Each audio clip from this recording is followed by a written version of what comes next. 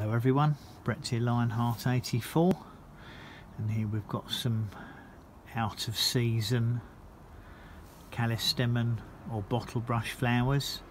Um, this plant normally flowers from me very heavily late spring, early summer.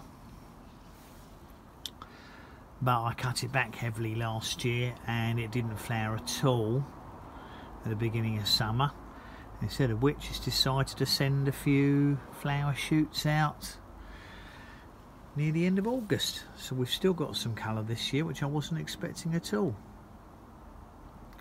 So that's my bottle brush or callistemon native to Australia. Thanks for watching